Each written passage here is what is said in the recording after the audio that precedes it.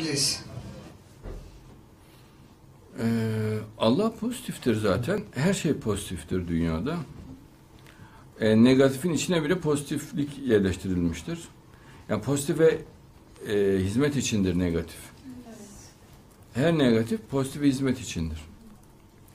Dolayısıyla Allah'la bağlantı olursa, Allah'ın büyüklüğü sürekli bilinirse, o açık gerçek ruh tarafından bilinirse insan zaten e, doğal olarak Allah'ın ruhunu taşıdığı için Allah'ın o e, yüce gücünün içinde olur. Ve dünya, bütün kainatı sarmış o yüce gücün içerisinde e, Allah'ın dilemesiyle güçlü bir varlık olur.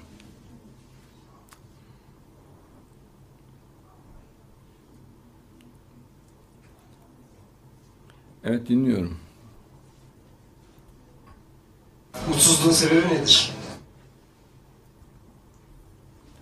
Mutsuzluğun sebebi insanın kendini yalnız görmesidir. Yani Allah'ın olmadığını, uçsuz bucaksız kainatta tek başına zavallı, aciz, her an ölmeye, yaralanmaya hazır, uğursuzlukların, kötülüklerin sardığı bir aciz organizma olarak kendini görüyor. O zaman mutsuz olur.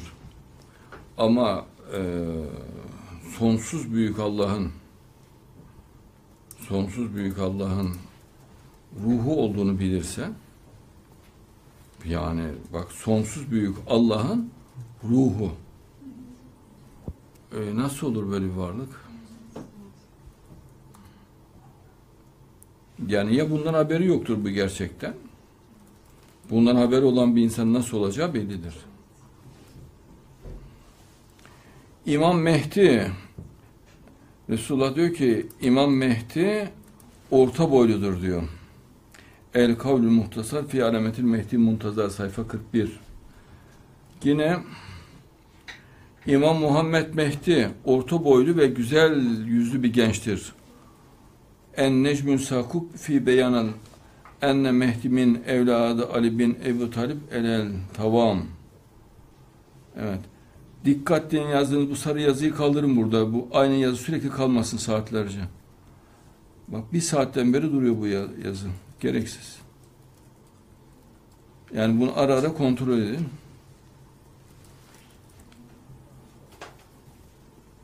İmam Muhammed Mehdi orta boylu erlerdendir. Muhittin İbn Arabi en cevabul müstakim en mesela enhu et Tirmizi et hakim.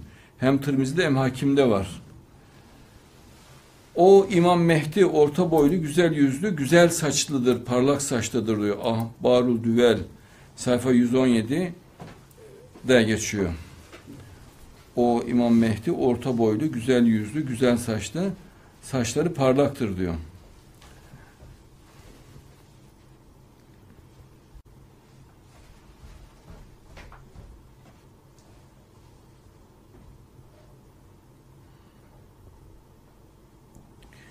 İmam Mehdi uzun ömürlü ve genç yüzlüdür. Onu gören 40 yaş civarında bir erkek diye düşünür. Bir işareti de Allah'ın emri gelinceye kadar yaşlanmayacağıdır. Kemalüddin sayfa 625 Üç ayrı hadiste gözlerinin yeşil olduğundan bahsediliyor. Dişleri parlak ve ileri yaşlarda olmasına rağmen diyor son derece genç görünür. Saçları siyah ve parlak. Sakal telleri ince.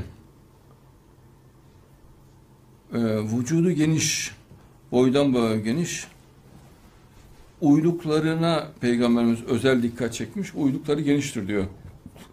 Yürürken ayaklarını açarak dışarıya doğru basar diyor. Hiçbir peygambere verilmemiş böyle bir detay görünümü heybetli ve acardır. İsrail'den gelen bir recül gibi, bir resul gibi. İsrailli bir resul gibidir diyor.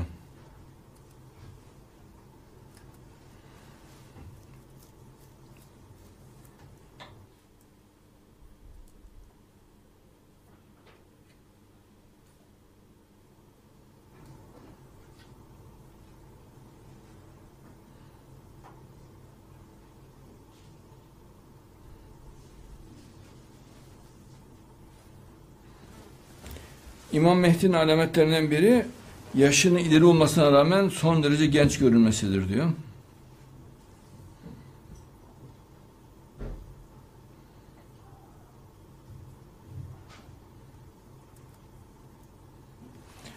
İmam Mehdi'ye bakan biri yaşının 40 ya da daha az olduğunu tahmin edecek. Halbuki ileri yaşta bir kişidir diyor.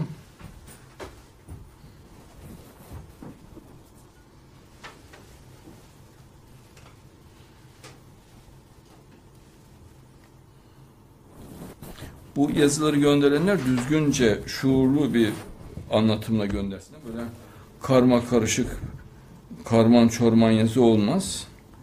Düzenli, tertipli, mantıklı bir yazı düzeyi yapmaları lazım. Karma karışık olmaz.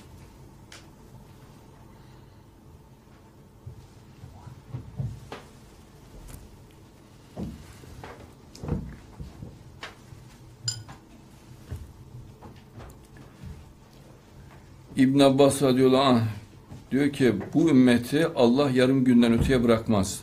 Yani Hicri 1500'den sonrasını bırakmaz. Kıyamet koparacak 1500'den sonra. Ee, İstanbul'da bir adamın yani Mehdi ve Ehdi Beyti'nin sofrasını görmedikçe İstanbul e,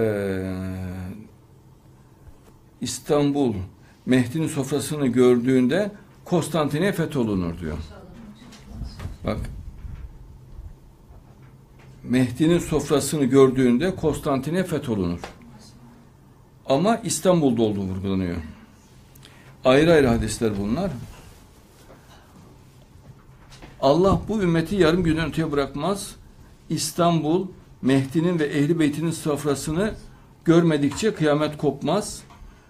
Ee, İstanbul, Mehdi'nin sofrasını gördüğünde Konstantiniye fetholunur. Ra Ravi ise Hazreti Ebu Salebe radıyallahu anh sahabe. Ayrıca Mehdi'nin diyor deniz ortasında da sofrası olurdu. Denizin ortasında. Ünlü. Demek ki sofraları ünlü olacak. Bak iki tane, iki hadis burada var. Bir hadis de orada var. Üç hadis sofralarla ilgili.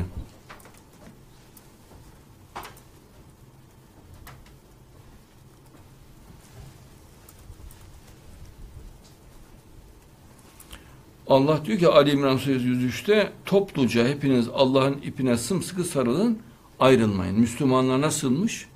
Ayrılması haram. Bak topluca hepiniz Allah'ın ipine sımsıkı sarılın birbirinizden ayrılmayın. Münafıklar ne diyor? Yok hiçbir mahsur yok diyor. Allah'ın emri bu. Müslüman birbirine ayrılmayacak. Ali İmran 103. İçinizden hayra çağıran, iyiliği emredip kötülükten men eden bir topluluk bulunsun. İşte kurtuluşa eren onlardır. Yani bir Mehdi cemaati bulunsun. Ali İmran 104. Ey iman edenler Allah'tan sakının ve doğru sadık müminlerle birlikte olun. Tövbe 119. Yani birbirine ayrılması haram mı Müslümanların? Şüphesiz Allah, şeytan Allah'a sınırlarım, şüphesiz Allah kendi yolunda sanki birbirine kenetlenmiş bir bina gibi saf bağlayarak mücadele edenler sever. Saf suresi 4. Müslümanlar nasıl olacakmış? Birbirine kenetlenmiş gibi. Birlikte mücadele edecek. Münafık ne diyor? Yok ayrılıp dağılın diyor.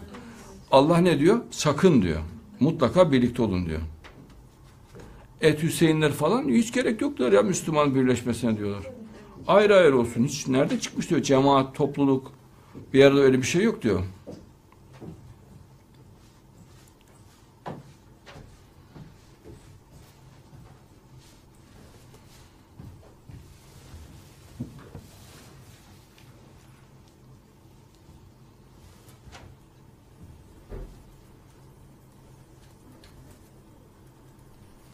Mehdi orta boyludur diyor peygamber. Yeşil gözlü, aynül hadra. Heybetli bir şahıstır. Geniş vücutludur. Geniş omuzlu, iri gövdeli. Karnı ve uylukları geniştir diyor. İki aylık uyluk arası geniştir. Bak iki uyluk arası geniştir. Yürürken bacaklarını ayırarak diyor. Dışarıya doğru basarak yürür diyor.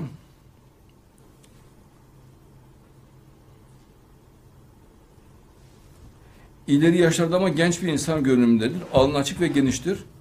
Burnu ufak ve düzgündür. Dişleri parlak, gözleri çekik, kaşları kavislidir. İki kaş arasında küçük bir çukur vardır.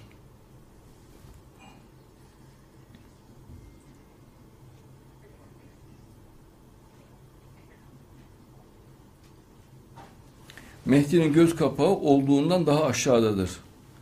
Bu ibare başka bir rivayette şöyledir. Gece uykusuzluktan gece sohbetten dolayı göz kapağı aşağı doğru düşüktür.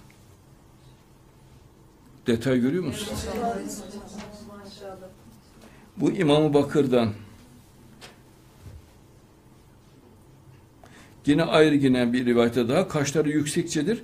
Yüzünde uykusuzluktan göz kapakları aşağı doğru düşüktür.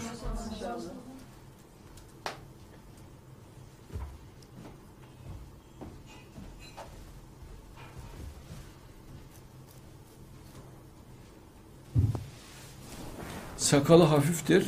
Yanlarda az kevseç, aşağı tarafı ise yanlardan da daha e, yanlarına nazaran daha uzun ama düzeltilmiş. Meczumdur. Meczum demek cezmedilmiş. Düzeltilmiş. Kevseç ince demek. İnce. Kaba değil sakalı Mehdi'nin. Kibar. Güzel simalı biridir diyor. Evet. Dinliyorum.